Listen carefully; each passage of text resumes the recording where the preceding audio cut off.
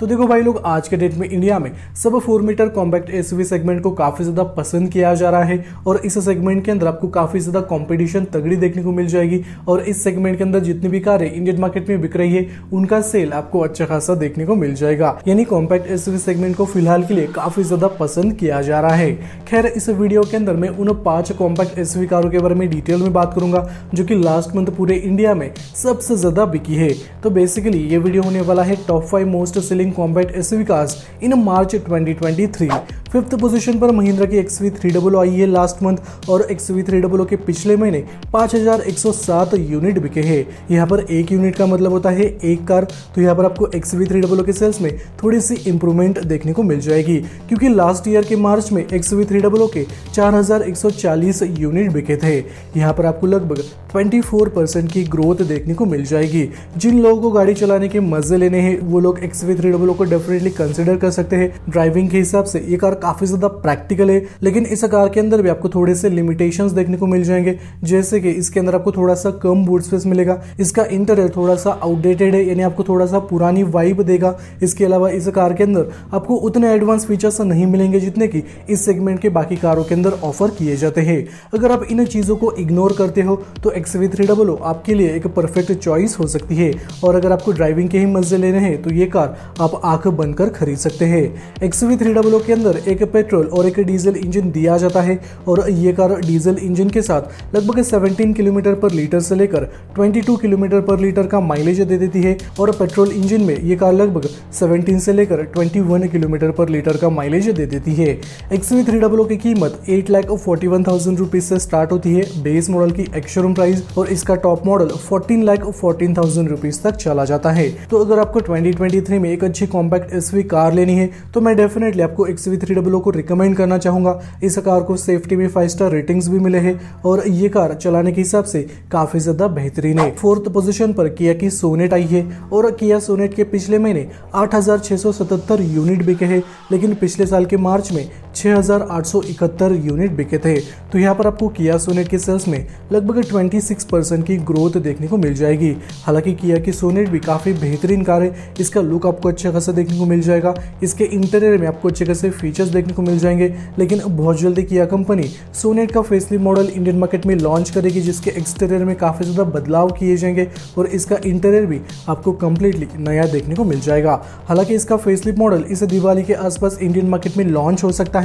या फिर उससे पहले किया कंपनी इसको इंडिया में लॉन्च कर सकती है। और सोनेट के फेसलिप मॉडल के अंदर और एक बड़ा अपडेट आपको देखने को मिल जाएगा। सोनेट के फेसलिप मॉडल को सीएनजी किट के साथ इंडियन मार्केट में लॉन्च किया जाएगा। फ़िलहाल के लिए इस सेगमेंट के अंदर सिर्फ़ ब्रेजा इकलौती ऐसी कार है, जिसके अंदर कंपनी फिटेड सीएनजी किट दिया जाता है। लेकिन बहुत जल्द किया सोनेट के अंदर आपको सीएनजी किट का ऑप्शन मिल जाएगा। आज के डेट में किया सोनेट के अंदर दो पेट्रोल और एक डीजल इंजन का ऑप्शन दिया जाता है।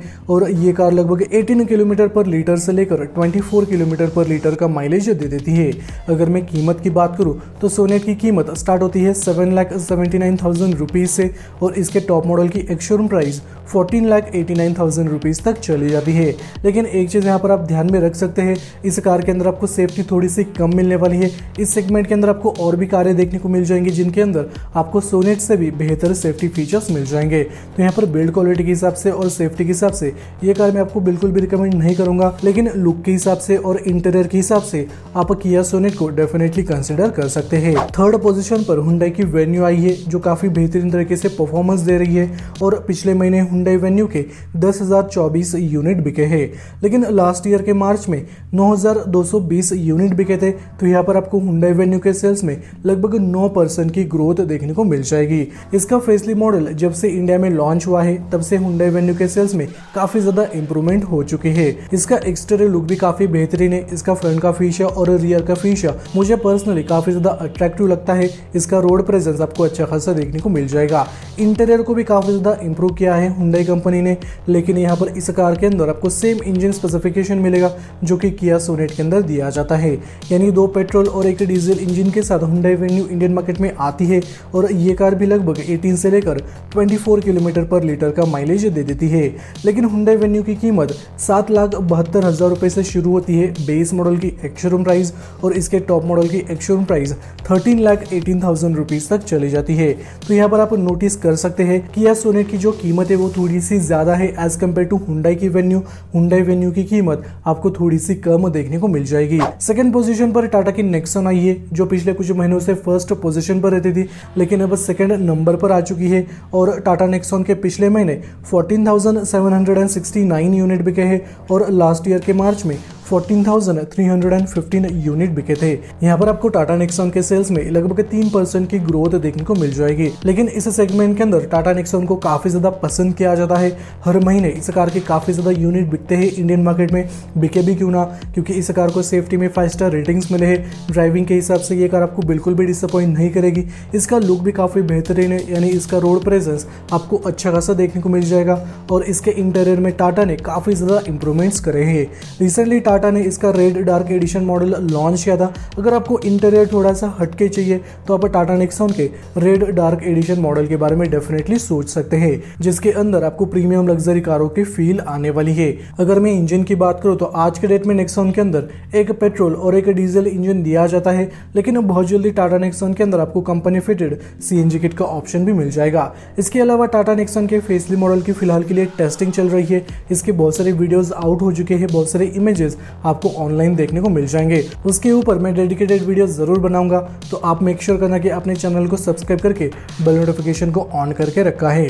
टाटा नेक्सॉन लगभग सत्रह से लेकर चौबीस किलोमीटर पर लीटर का माइलेज दे देती है। डीजल इंजन के साथ आपको यहाँ पर सबसे ज़्यादा माइलेज मिलने वाला है। नेक्सॉन की कीमत seven lakh eighty thousand rupees से शुरू होती है। बेस मॉडल की एक्शोरूम प्राइस और टॉप मॉडल की ex showroom price fourteen lakh thirty five thousand rupees तक चली जाती है। तो 2023 में टाटा नेक्सॉन आप डेफिनेटली कंसिडर कर सकते हैं। इसका लुक भी बेहतरीन है इंटीरियर भी अच्छा खासा है और ड्राइविंग के हिसाब से ये कार आपको बिल्कुल भी डिसअपॉइंट नहीं करेगी। पहले नंबर पर मारुति सुजुकी की ब्रेजा आई है। हालाँकि फेब के महीने में भी ये फ़र्स्ट पोजीशन पर आई थी और लास्ट मंथ भी ये पहले नंबर पर आ चुकी है। जब से ब्रेजा का फेसली मॉडल इंडिया में लॉन्च हुआ है, तब से इसका सेल काफ़ी ज़्यादा इंप्रूव हो रहा है। हालाँकि इसके अंदर मारुति सुजुकी ने काफ़ी ज़्यादा चेंजेस करे हैं एक्सटीरियर में इंटीरियर में और आपको अपडेटेड इंजन स्पेसिफिकेशन भी मिल जाएगा। पिछले महीने ब्रेजा के सोलह यूनिट बिके, लेकिन लास्ट ईयर के मार्च में बारह यूनिट बिके थे। तो यहाँ पर आपको लगभग 30 परसेंट की ग्रोथ देखने को मिल जाएगी। आज के डेट में ब्रेजा के अंदर एक पेट्रोल और एक सीएनजी किट दिया जाता है, जिसके तहत ये कार पेट्रोल में 18 से लेकर 20 का माइलेज दे देती है और सीएनजी किट के साथ इसका माइलेज क्लेम किया है 25.51 किलोमीटर पर के का। ब्रेजा की कीमत स्टार्ट होती है eight lakh nineteen thousand rupees से और इसका top model fourteen lakh rupees तक चला जाता है।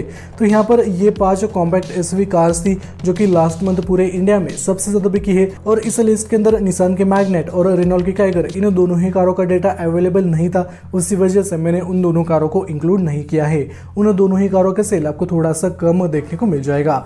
तो इन पाँच कारों में से आपको कौन सी कार सबसे ज़्यादा अच्छी लगती है कॉमेंट सेक्शन में ज़रूर बता देना। और इसके बाद मैं top twenty five most selling S कारों के ऊपर वीडियो ज़रूर लाऊँगा। तो उसके लिए आपको चैनल को सब्सक्राइब करके बेल नोटिफिकेशन को ऑन करके रखना है।